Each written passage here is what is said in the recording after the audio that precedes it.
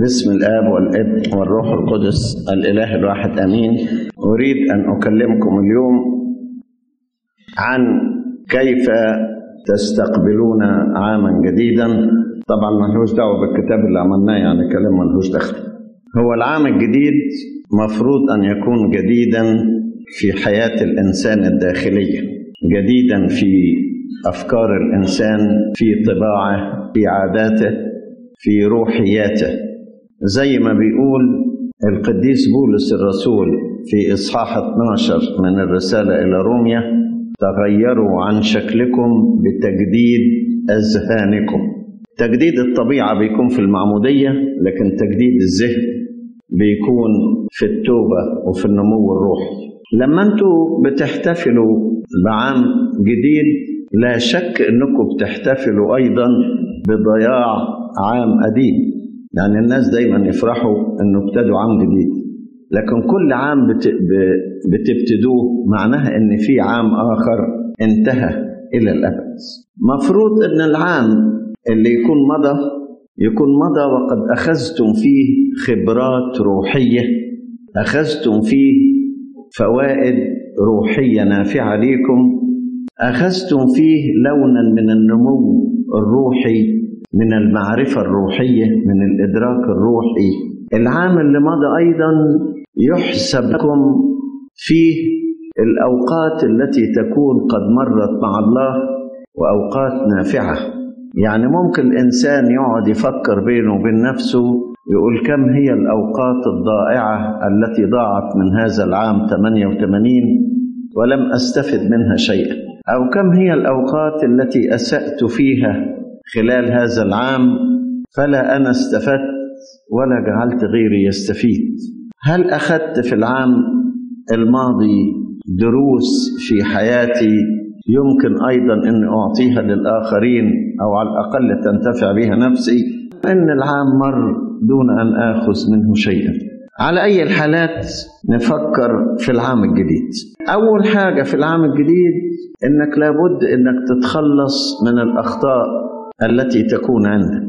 تتخلص من الخطايا وتتخلص من النقائص وتتخلص من الطباع ومن العادات التي تضرك.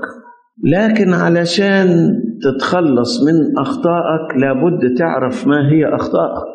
عشان تتخلص من أخطائك لابد تعرف ما هي أخطائك. وللأسف الشديد إن كل إنسان ساعات بتكون نفسه جميلة في عينيه وما يشعرش بكثير من أخطائه لأنه لا يعرف أخطائه ولا يراها أو أيضا لا يحب أن يراها فبتبقى أخطاؤه كما هي. إذا أول نصيحة حاول أنك أنت تعرف أخطائك عشان تتركها مشكلة أيوب الصديق كما قال الكتاب إنه كان بارا في عيني نفسه. كان بارا في عيني نفسه. ومشكلة كثير من الناس إنهم لا يرون أخطاءهم. وإذا كشف لهم البعض أخطاء في حياتهم يتخذونه عدوا. اللي يقول له أنت غلطان فدي أو فدي أو فدي يزعل معاه يتخاصم معاه يكرهه. يقول له أنت ما بتحبنيش أنت بتنتقدني أنت بتعارضني. عشان كده بيبقى الناس كما هم في أخطائهم. حاول أنك أنت تعرف أخطائك. لأن معرفة الخطأ هي أول خطوة في إصلاح النفس. أول خطوة في إصلاح النفس. إنك تعرف خطأك وبعدين تصمم إنك تتركه وبعدين تسلك في الطرق العملية لتركه وبعدين تقاوم زي ما بيقول بولس الرسول موبخا العبرانيين لم تقاوموا بعد حتى الدم مجاهدين ضد الخطيه تقاوم بكل ما عندك من قوة تقاوم بكل ما تعطى من نعمة تحاول أن تخلص ذاتك من ذاتك. من هنا كانت أهمية معرفة الذات. الإنسان بيعرف ذاته اولا عن طريق جلسة هادئة صريحة مع النفس. جلسة لا يجامل فيها نفسه بل على العكس يكون شديدا عليها. بالنسبة للآخرين كن لطيفا ولا تكن قاسيا في أحكامك عليهم. لكن بالنسبة لنفسك كن شديدا وحاسب نفسك. جميلة جدا كلمة القديس مكاريوس الكبير أحكم يا أخي على نفسك قبل أن يحكموا عليك. ولعل عبارة القديس مكاريوس دي أخذتها من كورنثوس الأولى 11 قالها بولس الرسول في كلامه عن محاسبة النفس قبل التناول. وابعد بعدا كاملا عن تبرير الذات وعن تقديم الاعتذارات عن نفسك. يعني لا تبرر نفسك بأي أسلوب ولا تعذر نفسك إطلاقا. كثير من الأخطاء ملفوفة في أعذار. وملفوفة في تبريرات. وكثير من الناس يحبوا أنهم يكونوا أمام الآخرين بلا خطأ وبلا عيب ويتعبون إن نبهوا إلى خطأ أو عيب. تلاقي واحد مقابلته ليك مش زي زمان وجهه وهو بيكلمك مش زي زمان. ليه؟ لأنك قلت له إنه غلطان في موقف من المواقف. يتغير القديس الأنبا أنطونيوس يقول إذا بكتك أحد من الخارج بكت نفسك من الداخل. إذا بكتك أحد من الخارج بكت نفسك من الداخل علشان يبقى الخارج والداخل هما الاتنين ماشيين مع بعض.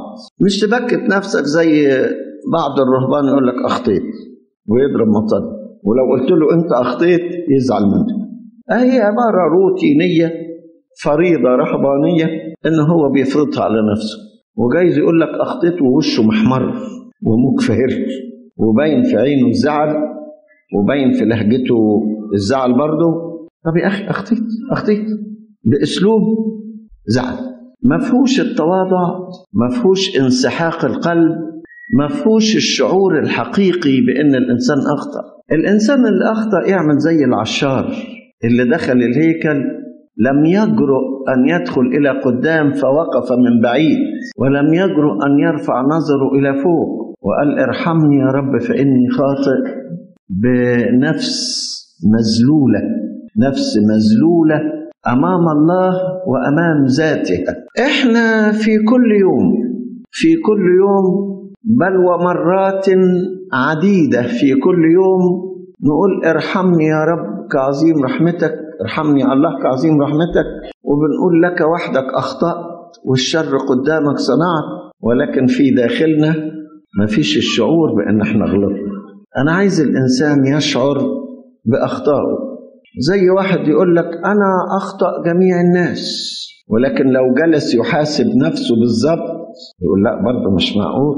ما أخطأ جميع الناس معقول إن أنا زي فلان ولا زي فلان؟ مستحيل. فاعرف نفسك وحاسب نفسك ولا تجامل نفسك وطلع أخطائك. وبعد ما تشوف أخطائك قول مش عايز أشوفها تاني. إن ما عرفتش أخطائك اعرفها من أحكام الناس عليك. اعرف أخطائك من نصائح الأحباء لك. واعرف أخطائك من توبيخات الكبار لك. واعرف أخطائك من انتقاد الآخرين لك. ولا تظن إن كل انتقاد ليس في موضعه. خدها كده بفحص. بس مش كل حاجة تقال عنك تقول هي مظبوطة يعني وإلا هتتوسوس في كل حاجة. لكن كل كلمة انتقاد خذها وافحصها في داخلك فحصا دقيقا صريحا في غير مجاملة.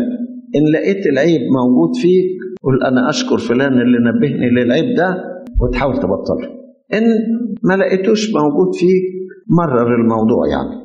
القديس يوحنا ذهبي الفم بيقول الذي يبكتك على خطاياك اتخذه لك صديقا اللي بيشرح لك أخطائك اتخذه لك الصديق لو واحد قال لك إنك أنت غلطان ولقيت نفسك سخنت تعبت من جوه اعرف إنك أنت من النوع اللي يحب الكرامة وبيتأثر من كلمة غلط. قول حتى لو ما فيهاش فيا الغلط ده في حكاية إن أنا بزعل وبتأثر لما حد يوبخني. جايز واحد ما يقولكش خطأ لكن تتكلم كلمة أثناء ما تقول له كلمة تلاقي وشه اتغير وتعب. فتعرف إنك أنت جرحته حتى من غير ما يقول لك حاجة. من ملامحه تعرف إنك أنت غلطت. أو تتكلم كلمة قصاد واحد تلاقيه اشمئز أو اتضايق ولو إنه ما قالكش حاجة. لكن تعرف من ملامحه إنك أنت غلطت. أو تقول كلمة تلاقي اللي قصادك ما فيش تجاوب. وصمت وسكت. تعرف أن الحكاية ما كانتش مظبوطة برضه. يعني مش ضروري تفهم من كلام الآخرين إنما من ملامحهم من انطباعاتهم من نظراتهم من تأثرهم وتشوف الكلام إيه ماشي إزاي.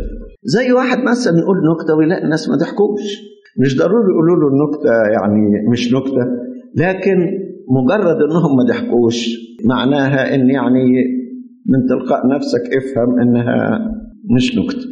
فانت برضو جايز تعمل كده مع الناس بتصرفهم. يعني جايز تفهم من موقفهم الإيجابي من نحوك وجايز تفهم من إيه؟ من موقفهم السلبي من نحوك. يعني جايز تتأخر في الشغل ورئيسك ما يقولكش يا فلان إنك أنت اتأخرت أو مهمل في الشغل. إنما مجرد تخش الشغل تلاقيه بيبص في ساعته من غير ما يقول حاجة. فأنت تفهمها إذا كنت حساس. إذا كنت حساس. فخليك حساس. خليك إيه؟ حساس. وحاول إنك أنت تعرف من معاملة الناس ليك. لا تكن بارا في عيني نفسك. يبقى أول حاجة قلناها تعرف ذاتك عن طريق جلوسك إلى نفسك وفحصك لذاتك. تاني نقطة تعرف ذاتك عن طريق كلام الناس أو نصائحهم أو توبيختهم أو سكوتهم أو ملامحهم ثالث نقطة تعرف ذاتك في ضوء تعليم الكتاب المقدس في ضوء الوصية. كل ما تقرأ وصايا الكتاب تقدر تعرف الحاجات دي موجودة عندك ولا لأ. مش ضروري حتى الوصايا. حتى في الصلاة لما تقول واغفر لنا كما نغفر وتلاقي إنك أنت ما بتغفرش. يعني حاول إنك أنت تعرف نفسك في ضوء تعليم الكتاب. في ضوء تعليم الكتاب. وفي ضوء المفهوم العام والتقاليد والعرف. يعني مثلا واحد يقعد في الاجتماع يمضغ لبان الكتاب ما قالش لا تمضغ لبانا في الاجتماعات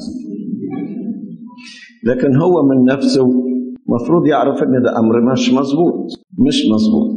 واحد يكون في اجتماع واللي بيتكلم وهو بيكلم اللي جنبه ويبقى الرئيس في حسابه والنوتي في حساب وهو الكتاب ما قالش كده. لكن هو من تلقاء نفسه مفروض يفهم. الإنسان الروحي حساس جدا يفهمها كده وهي طايرة. يفهمها إيه؟ وهي طايرة. يعني ما انتظرش لغاية لما غيره يوبخه لا يفهمها لوحدها جايز واحد عارف إنك أنت حساس وتتعب لو وجهك لخطأك فيتكلم كلام عمومي ولكن الكلام العمومي فيه ما يمسك ولازم تفهم. تفهم نفسك أيضا في ضوء تعاليم الآباء وأقوال الآباء وفي ضوء سير القديسين. وفي ضوء إيه؟ سير القديسين.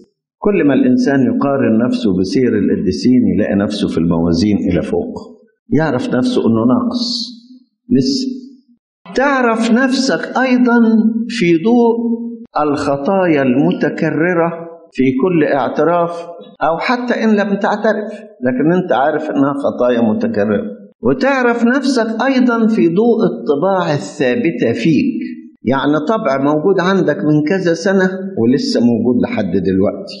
قم تعرف إنه خطأ ثابت لازم يتغير. تعرف نفسك أيضا في ضوء المبادئ والقيم. في ضوء المبادئ والقيم. يعني إنسان يلاقي أنه بيتكلم واحد كبير عنه بصوت عالي بأسلوب غير لائق بكل المبادئ. ما تقولش كده. ده مش بس حتى الروحيات ما تقولش كده ده الفضائل الاجتماعية العادية ما تقولش كده. يقول لا لازم ما أعملش الحكاية دي. يلاقي ما بيحترمش واحد أكبر منه يقول له لا الحكاية دي ما تبقاش كده. يلاقي نفسه بيعامل أب أو أم كمعاملة الند لا ما تاريخش الحكاية دي. بيتكلم مع الكاهن كأنه بيتكلم مع علماني يقول ما ياريخش الحكاية دي. في مبادئ في قيم الواحد لازم يفهمها. عشان الناس يفهموا الروحيات ويفهموا أنفسهم لازم يفهموا أيضا المقاييس السليمة للفضيلة. ما معنى القوة؟ ما معنى الحرية؟ ما معنى الشجاعة؟ ما حدود الشجاعة؟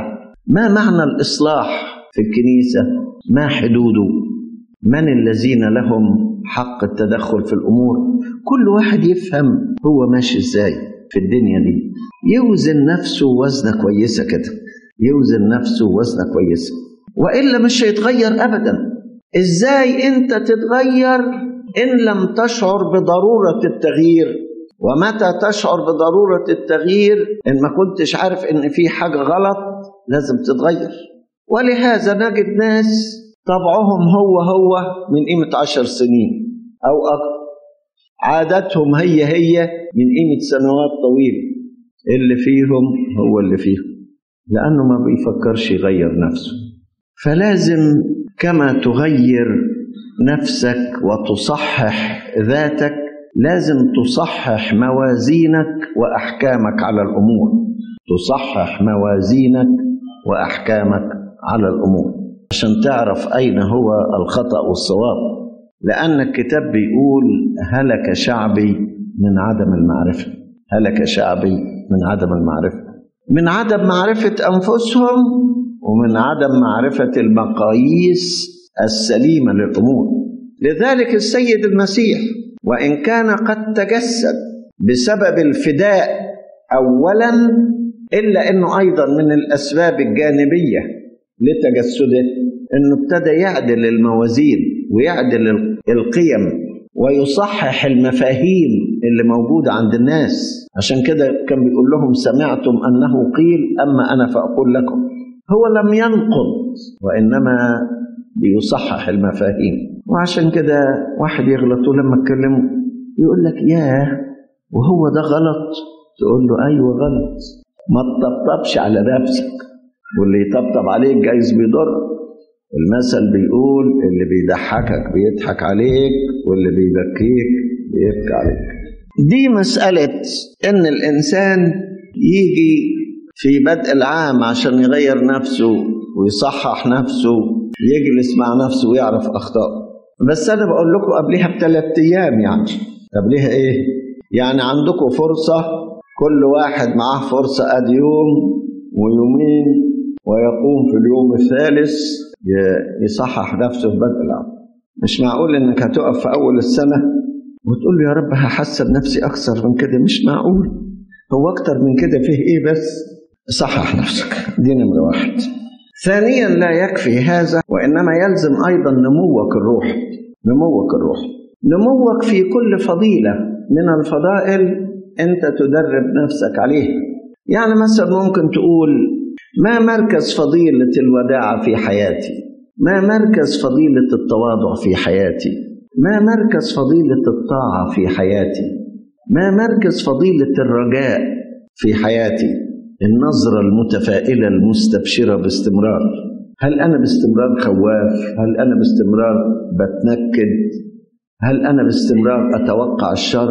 إيه إيه مركز الرجاء الفرح أنا الأسبوع اللي فات كلمتكم عن الآية اللي بتقول تعظم نفس الرب. دي بعديها تبتهج روحي بالله مخلصي.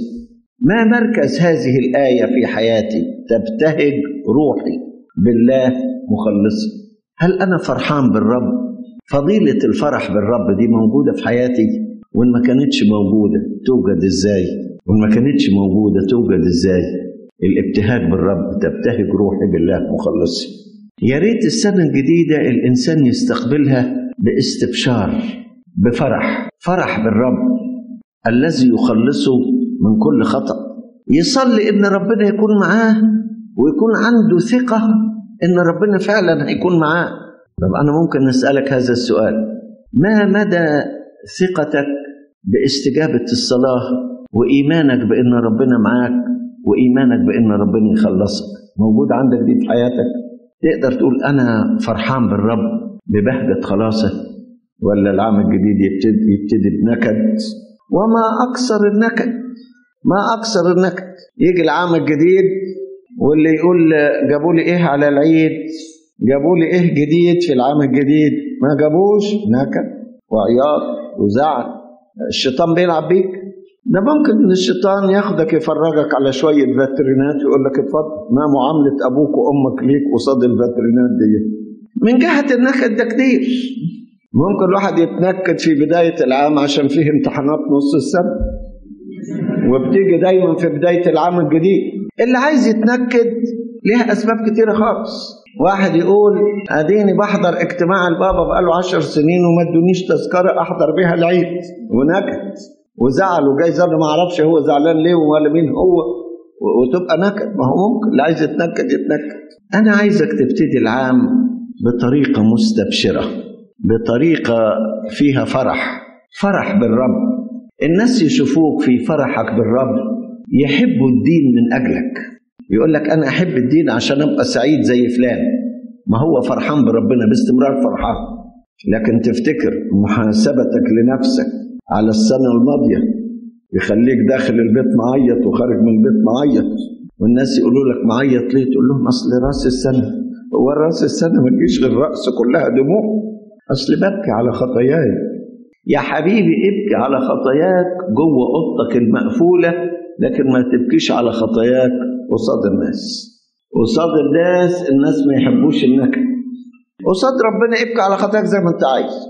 وقصاد ربنا حط اليافطة الطويلة بتاعتك بكآبة الوجه يصلح القلب. لكن قصاد الناس خليك بشوش ومبسوط وفرحان بربنا. يقول تبتهج روحي بالله مخلصي تبتهج روحي بالله مخلصي تعرض نقائصك أمام الله وتقول له يا رب اديني القوة إني أتخلص منها. وإنت اللي هتخلصني منها وأنا واثق إنك أنت هتخلصني منها واثق من قلبك. مش قصاد ربنا تقول له كلام آه ربنا عارف إذا كنت أنت واثق ولا مش واثق. لأن في واحد يقول أنا واثق إنك تخلصت منها وهو مش واثق.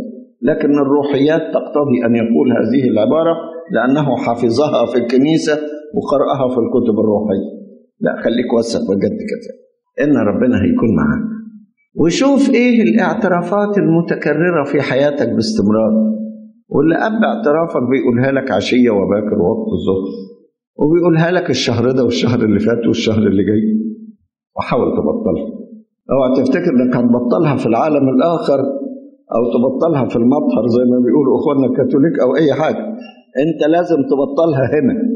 تبطلها إيه؟ هنا. مش هنا في الاجتماع هنا في الأرض يعني في هذه الأرض. وتبتدي تنمو في الحياة. تنمو في الحياة. تنمو في محبة الله وتنمو في محبة الناس وتنمو في محبة الفضيلة. تنمو في الثلاثة دول. تنمو في محبة الله وتنمو في محبة الناس وتنمو في محبة الفضيلة.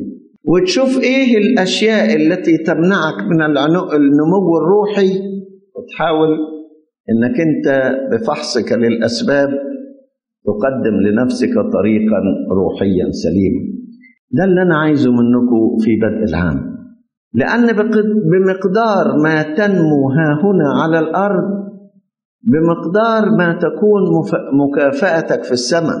صدقوني مرة واحد أرى كتاب الدرجي السلم بتاع يوحنا يوحنا كليماكوس. كتاب الدرجي أو كتاب سلم الفضائل أو سلم السماء الآخر ويوحنا كليماكوس حط فيه 30 درجة من درجات الفضيلة. فبص لي كده وقال لي ده ولا الدرجة الأولى أنا وصلت ليه؟ ولا أول درجة. أمال إيه ال 30 درجة دول؟ ياخدهم الواحد إمتى؟ في ناس واخدين الدنيا كده بلا مبالاة بعدم اهتمام. يقول يا عم أنا هنكد على نفسي وأقعد أفحص في ذاتي واجيب لنفسي أمراض نفسية خليني مبسوط. خليني إيه؟ مبسوط.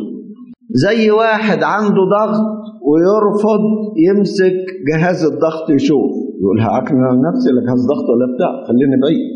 أو واحد يمكن عنده اشتباه مرض سكر ويرفض يحلل السكر يقول أحسن يطلع عندي أتعب. طب افرض ما ما استخدمتش التحاليل ولا الأجهزة. أنت هتتصلح وهتشفى. ولا المرض هيبقى يبقى كما هو. أحسن تفحص نفسك وتشوف أنت ماشي فين وتحاول إنك أنت تنمو روحيا. كل يوم تنمو عن اليوم الآخر. كل يوم تكتسب شيئا جديدا. كل يوم تاخد خبرة روحية زيادة. كل يوم تتصلح حياتك عن اليوم اللي قبل منه. وتسأل نفسك هل زي ما أنا كبرت في السن كبرت في روحياتي؟